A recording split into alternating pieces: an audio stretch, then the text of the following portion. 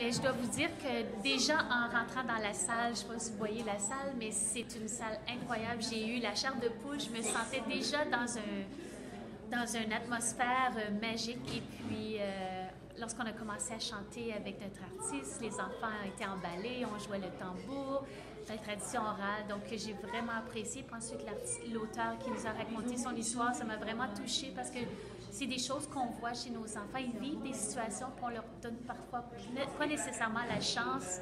Donc, ce livre-là est une belle porte d'entrée pour pouvoir avoir ces discussions avec nos élèves. Donc, pour moi, c'était une belle soirée parce que j'ai appris beaucoup la richesse de, que notre livre peut apporter, la littérature jeunesse va nous apporter et avec euh, finalement notre professeur de l'université qui nous, qui nous appuie avec les articles et qui nous encourage davantage d'aller euh, chercher nos la littérature jeunesse pour pouvoir euh, aller chercher nos élèves qui puissent parler de la plurilinguisme et aller chercher toute cette belle richesse qui est pas nécessairement, qui n'est pas une béquille, qui n'est pas un défi, c'est plutôt une richesse, puis on doit aller chercher cette richesse pour notre pédagogie.